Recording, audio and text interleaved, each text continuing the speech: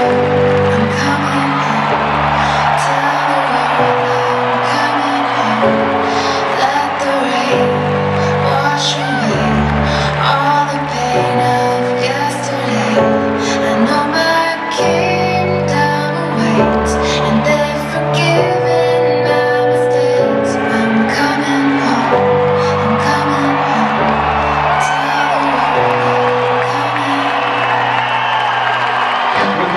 pick in the 1998 NBA draft, the Boston Celtics select Matt Pierce from the University of Kansas.